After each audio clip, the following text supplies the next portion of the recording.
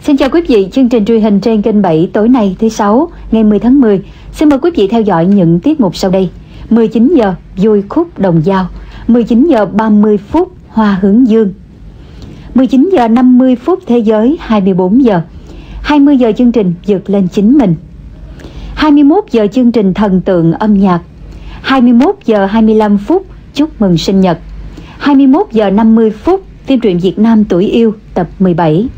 22 giờ 40 phút tình trong nước.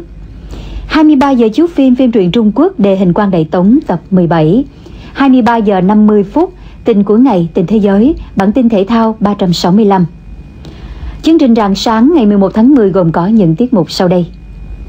0 giờ 15 phút sân khấu về khuya hát bội Nhất gia sinh Tam Kiệt.